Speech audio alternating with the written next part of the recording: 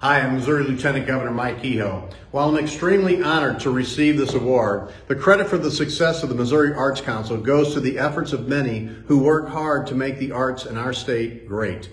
The arts strengthen the cultural, educational, and economic vitality and improve the quality of life for all Missourians. A big thank you to the National Lieutenant Governors Association and Americans for the Arts. It's a true honor to work alongside each of you as together we work to promote the arts and culture in communities across the country. My office is proud to support the Missouri Arts Council in celebrating Missouri's cultural richness.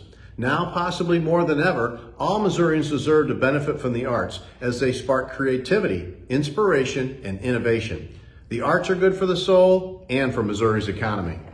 I also want to take a moment to wholeheartedly thank Michael Donovan, the Executive Director at the Missouri Arts Council, Kina Iman with Missouri Citizens for the Arts, and Ben Martin with Missouri Alliance for Arts Education for their nomination and continued support of the arts here in Missouri.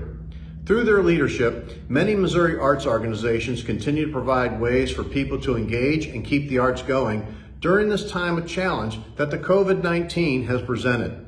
We are the show me state, and we appreciate every opportunity to share how the Missouri Arts Council is committed to champion the importance of the arts for Missouri's economic and physical recovery, as well as our long-term health and vitality. It's with great pride that I accept and share this award with my fellow Missourians who share a love of the arts. I look forward to seeing everyone again, hopefully soon, at a future NLGA meeting. But until then, please take good care and God bless.